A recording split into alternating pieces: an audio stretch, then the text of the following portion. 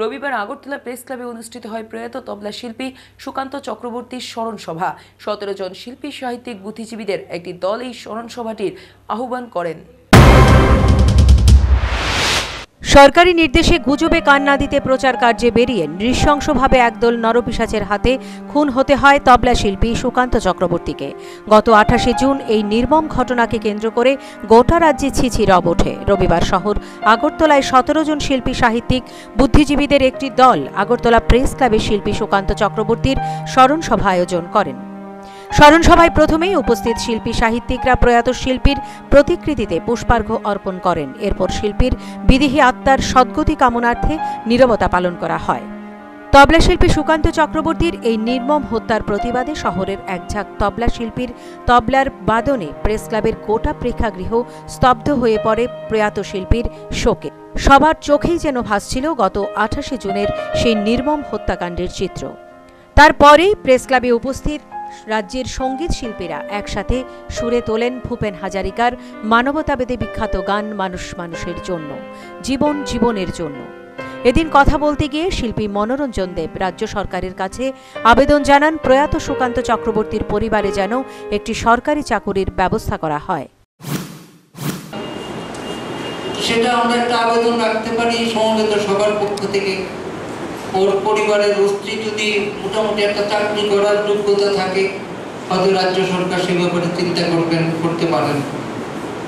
বা প্রশাসনিক স্তরে ওর মৃত্যুর হত্যার রহস্য কিনারা করার জন্য যেটুকু দায়িত্ব সরকার নিয়েছেন, দেখতে পেয়েছি। তো আমরা আরেকটা আবেদন রাখতে পারি সমাজের কাছে। সত্যিকারে মানুষ তৈরি করতে না পারলে এগুলি আর যাবে। যে যেখানে যে পরিসরে থেকে কাজ করেন, প্রত্যেককে আসলে একটা মনুষ্যত্ব বোধ নিয়ে সমাজে যাতে এস্টাবলিশড হতে পারে সেই দায়িত্ব নিয়ে যদি আপনারা একটু কাজ করেন, বিভিন্ন ক্লাবে ক্লাবেই হোক, রাজনৈতিক যে যেই রাজনীতি করেন, মৃত্যু দিয়ে তো রাজনীতি হতে পারে না, হওয়া উচিত না গত আঠাশ জুন যে নির্মমতার সঙ্গে শিল্পী সুকান্ত চক্রবর্তীকে বেধড়ক পিটিয়ে হত্যা করা হয়েছে, তা ত্রিপুরা রাজ্যের ইতিহাসে এক কলঙ্কময় অধ্যায়। কথা বলতে গিয়ে শিল্পী অমর ঘোষ রাজ্য সরকারের কাছে দাবি করেন দোষীদের উপযুক্ত শাস্তির।